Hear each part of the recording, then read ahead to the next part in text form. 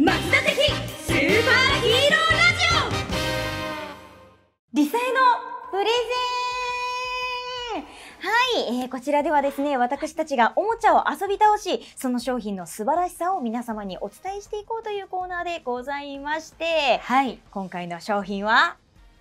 こちら。えーバンダイずーっと一緒。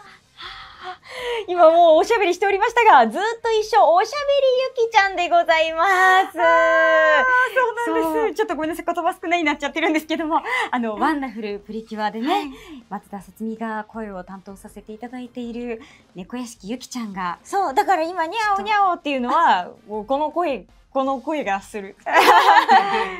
知らない。だから今日は、我々あのお姉様が遊んでいるのをそっと見守る人だから、ほら、どうしたにゃんって言われてる、はよ進行ごごめんね。せって。すいません。あの、さつみはあまり、ちょっと触れていいかわからないので。そう、なんでね、あの、私があの、非公式な人間として、あの、遊ばせていただこうと思っているんですが。不思議な放送。そう、そうなんです。この子がですね、あの、撫でたら反応してくれるタイプの、おぬ、おぬいぐるみさん。でございまして、だからね、あの、ギミックとしては、あの、簡単になっております。はい。まず、撫でる。はい。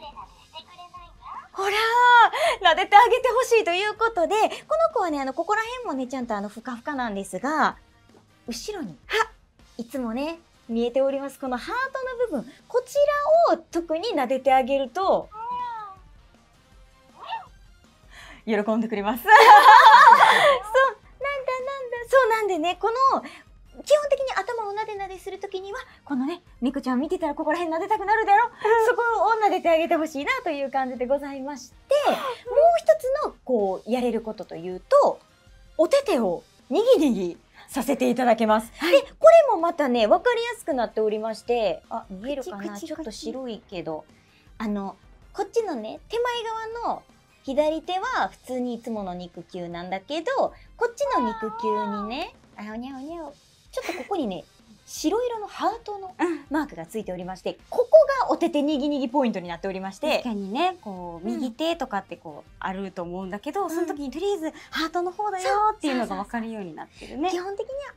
あの、お、お、お、お、お、なんだここ、後頭部のハートと、お手手のハートを握ってあげたり、撫でてあげたりっていう感じになっておりまして、お手手はですね、歌うにゃん。タイミングに合わせて、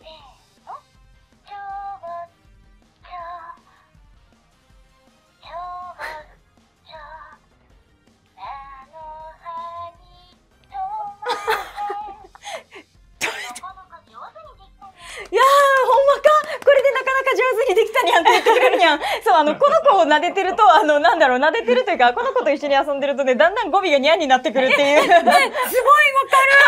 すごいわかるよで、なんかちょっとそういう、こう、呪いもかかっちゃうんですけど。そう呪いじゃないです。なんですが、本当にめちゃくちゃね、あの、このにゃんに違和感がなさすぎて、ついこっちまで言いそうになるっていう感じなんですが、こういう風にお手手を握るタイミングをね、歌い始めて、そう、あんまり撫でてないとね、おいおい、なんかな、撫でへんのかつって話しかけてくれるあたりも、眠そうにしてる？眠そうにしてこんな、撫でるために。これいっぱい撫でたらね、いろいろ言ってくれるようになるの。何か猫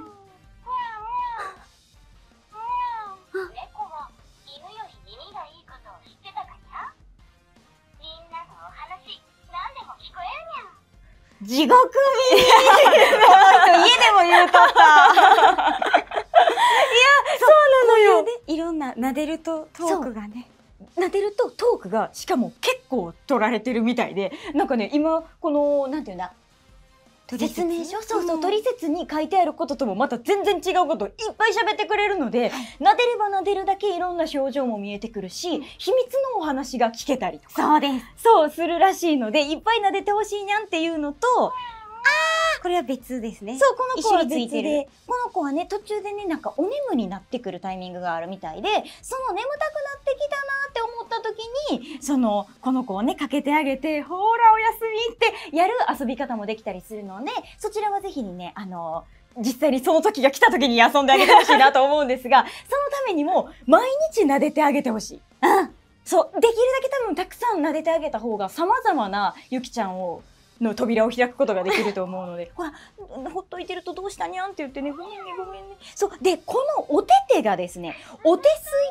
あ、ごめんちゃー。ごめんちゃー。そう、くすぐったいにゃんって言われたんだけど、このお手スイッチっていうのがね、右手についてるわけだけど、こ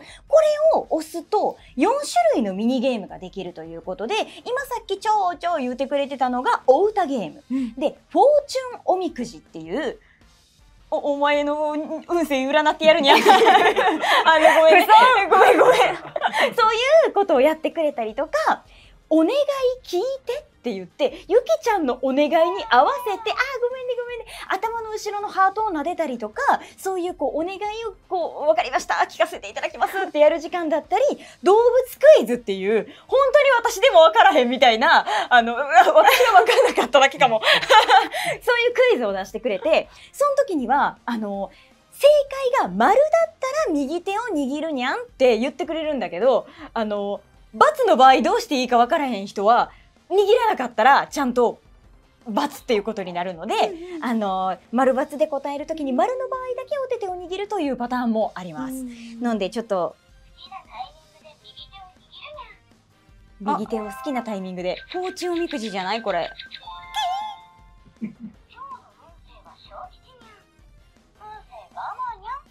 運勢まあまあにゃん。ということで、そう、あの、なん。かね、急に機械音みたいな音を出してくれるのよ。機械音じゃない キンキンキンキンキンみたいな音を出してくれるから、あれは、なんかわからんマジカルな音だっただろう。そうそう、多分ここら辺に漂ってんだよね、その音楽がね。この子が出てるという認識じゃないんだろうな。そうだ。そう、だからすごいね、この子いろいろできるの。ハートをなでなでするにゃんハートをなでなでするにゃん。願い聞いてだね。ピンコン右手を握ってにゃ。ありがとうにゃんとっても幸せにゃんあらなんか不思議な気持ちになるね。そう、なんかこれも多分そのお子さんがここれ本当にね説明書を見なくても遊べるようになってるから。結構直感的に遊べるそうよね。だからい実際こう手握った時にこうやってこう操作方法っていう言ってしまうけどのもゆきちゃんが教えてくれるのででハート撫でるって何やろうと思って撫でたらピンポーンって言ってくれるからあじゃあここを撫でたらハートを撫でたことになるんだとか分かりやすいと思うのでそのネットにあーそうあの実際ネットに飛んで説明書見るのめんどくさいなって人でも全部ゆきちゃんが教えてくれます、うん基本的に。なのでぜひにねその日の運運勢だったりとかゆったりとなんかあ